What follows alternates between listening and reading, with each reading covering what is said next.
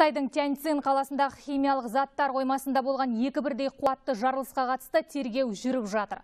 Соңғы ақпаратқа сай қайғылы оқиға кезінде 50 адам қаза тауып, 700-і жараланған. Олардың 71-нің халі мүшкіл. Бүгін оқиға орнынан тірі қалған адам табылды. 30-ға тарта өрт сөндірушінің тағдыры белгісіз. Жарылыс күші 21 тонна тротил қуатына тең екені анықталды. Оқиға кезінде ауаға қауіпті заттар тараған. Қазір жағдай бақылауға алынды дегенмен нақты қандай улы заттардың бөлінген әзірге белгісіз.